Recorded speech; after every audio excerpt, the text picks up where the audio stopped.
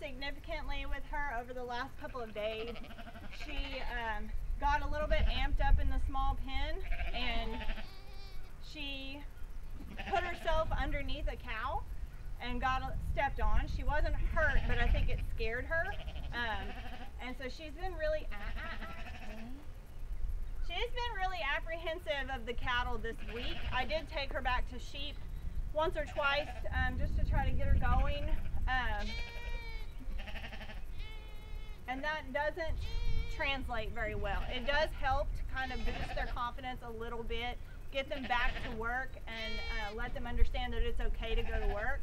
But it doesn't change the fact that sheep and goats are not cattle, and she's just going to have to deal with that on cattle.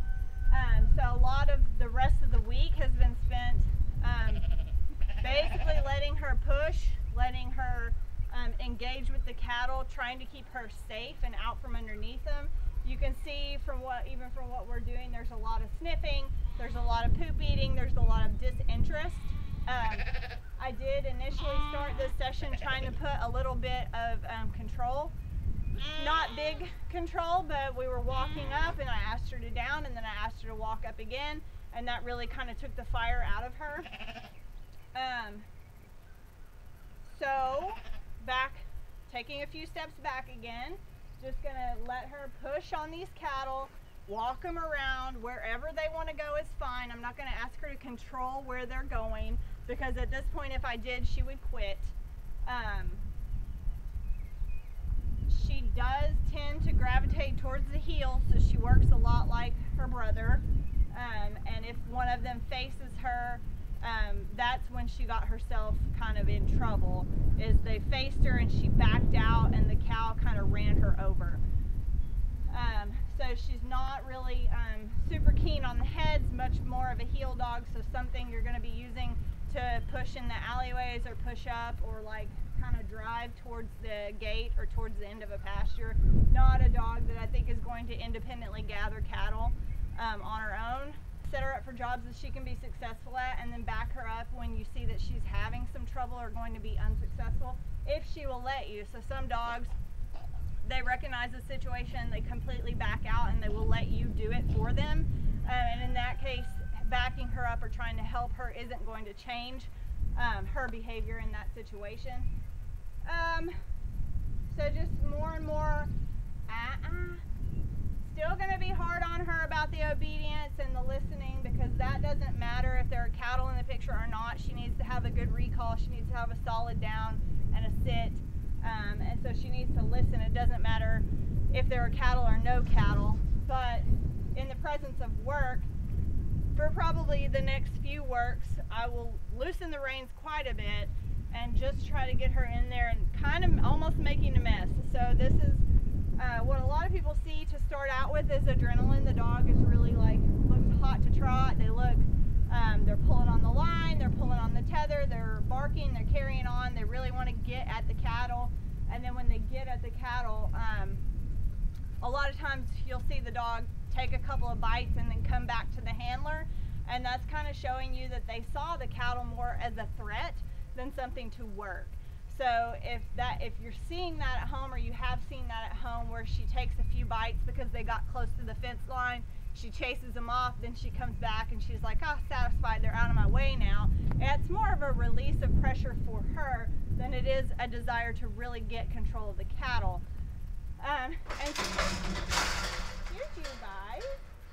So saying that she's more of a heel dog means that her bite and her focus tends to be more on the back side of the cattle.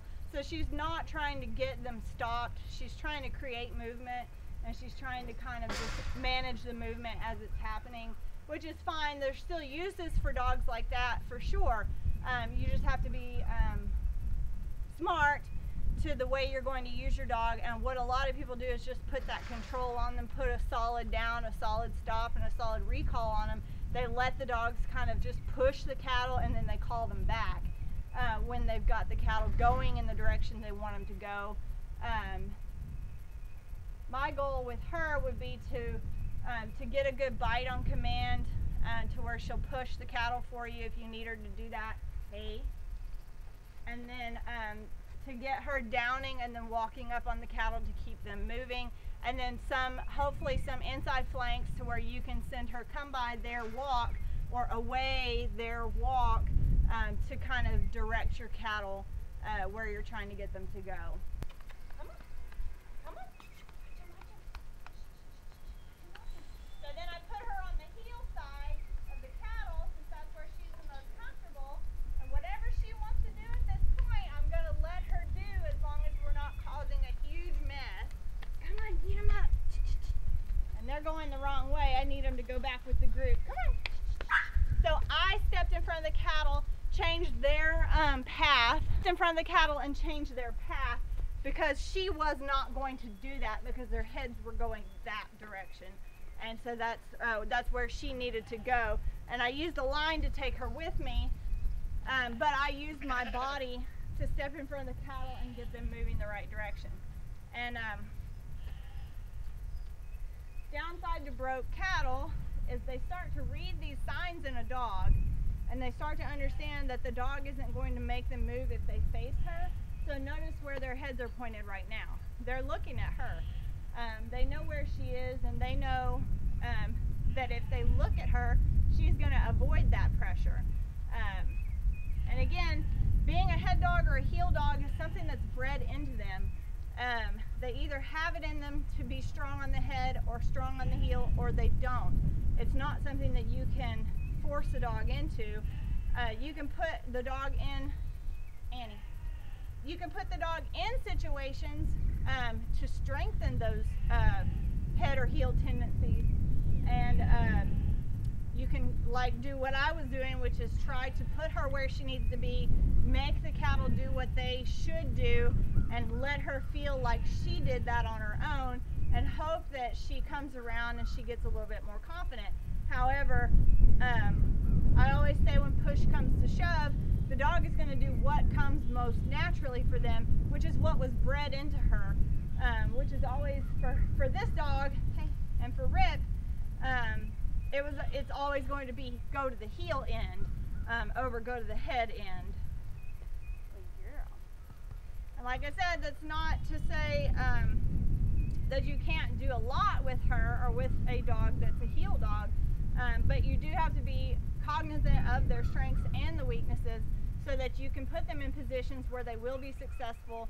And so that if there's a situation where you know that she's going to struggle, you can step in and help her and she will learn to trust you um, that her owner is not going to put her in a situation that she can't handle um, and that may be because you're right there but she'll learn that over time. Annie